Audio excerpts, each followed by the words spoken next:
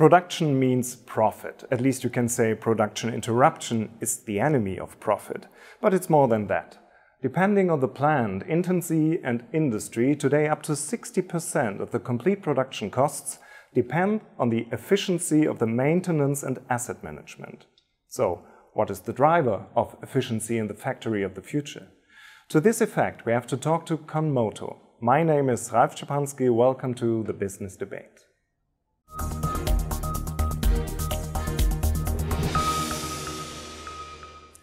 Nils Blechschmidt, Conmoto. In terms of music, it means moving or with movement. What makes you move in business with Conmoto? We make uh, change happen since 1990, uh, over 28 years. We are moving our clients to the right direction related to a higher production equipment, reliability, higher productivity, uh, with all related necessary changes for people, for the organization, and even for the equipment. These times are moved as well, automation and digital transformation, lots of buzzwords, but you do not hear too much about maintenance. Is that a mistake? A really mistake, because maintenance is uh, more and more driving the success, even in a more and more automized and digitalized world. And you have to keep in mind that in the last 35 years, uh, even in Europe and the United States, the maintenance volume increased four times. In some industry, maintenance has always been a factor of success. From your point of view, what happens to the other industries?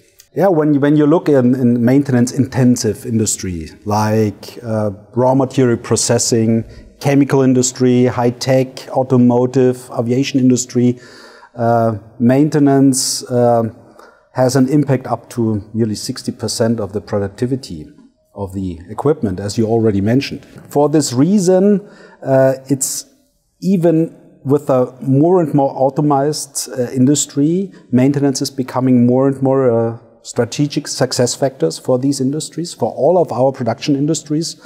And predictive maintenance is becoming more and more important. But what does it really mean, predictive maintenance?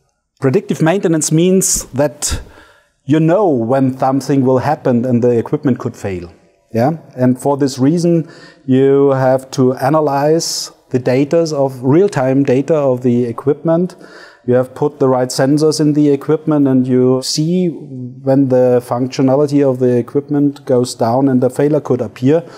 And you make in the forefront of an unplanned failure the necessary maintenance task that the failure doesn't appear and the equipment runs on a sustainable basis. And what additional developments in asset management determine the profitability of tomorrow's industrial production? Very strong, of course, uh, mobile maintenance. So practical, you see, you have a handheld, your maintenance guy has a handheld, and he gets all related information in the forefront and knows what we has to do. So the di digital integration is very, very important.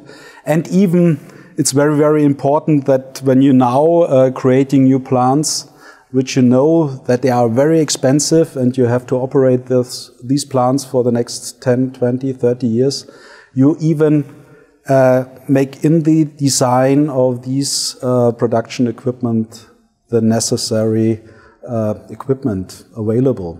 And how could it work practically? So in a, in a, in a future factory, for example, when a failure could appear, uh, automatic message notification uh, will go to the maintenance guy.